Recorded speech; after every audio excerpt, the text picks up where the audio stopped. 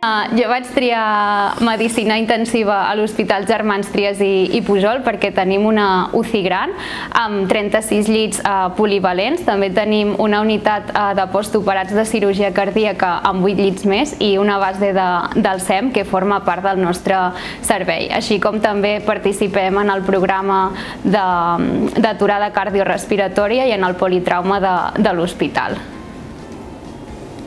No? A mi el que més m'ha sorprès i també més i també m'agrada és que és, és el, no? la medicina intensiva és una especialitat transversal en la que veus diferents òrgans i diferents patologies, que això et fa que el dia a dia sigui molt dinàmic, no? que hi hagi poca monotonia perquè cada dia eh, trobes davant de situacions diferents i prens, aprens coses diferents i que de cara a aquesta UCI també és molt important que, que els residents tenim molta prioritat de cara a fer les tècniques, no? les tècniques de posar vies centrals, intubacions, drenatges pleurals, eh, sempre ens donen prioritat per, perquè per tal d'aprendre i sortir ben formats aquí.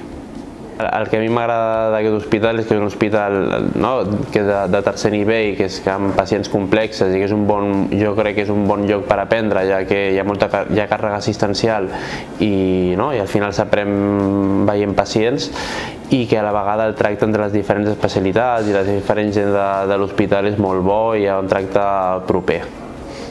Jo definiria el, el nostre ambient de treball com un ambient distès, en què hi ha bon rotllo eh, amb, els, no? amb els adjunts, també amb els tutors, sent, tenint un tracte molt, molt proper amb ells i que realment sí que és veritat que quan hem de treballar treballem, però també tenim moments de, de distracció i que ens ho passem molt bé.